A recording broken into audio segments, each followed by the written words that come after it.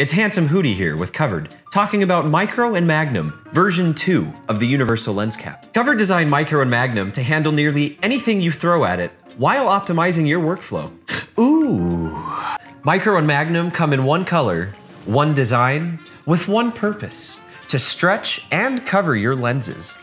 Period. Micro is perfect for your smaller lenses. Starting at 54 millimeters, it can easily stretch up to 76 millimeters, fitting up to 99% of all camera lenses. Vintage lenses, smaller rangefinder lenses, micro four thirds, you name it.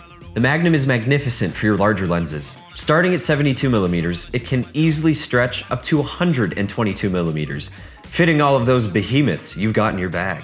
DSLRs, mirrorless camera lenses, cine lenses, and even super telephoto lenses.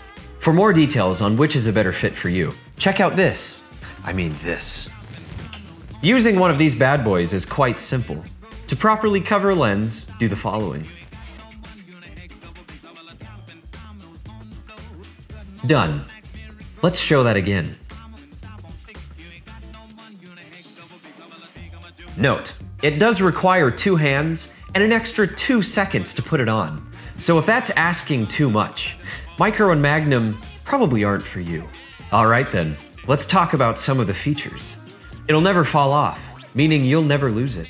You can color code the X, helping you organize your gear. They're multifunctional, working as front and rear lens caps, stretching over lens hoods, and even over traditional lens caps.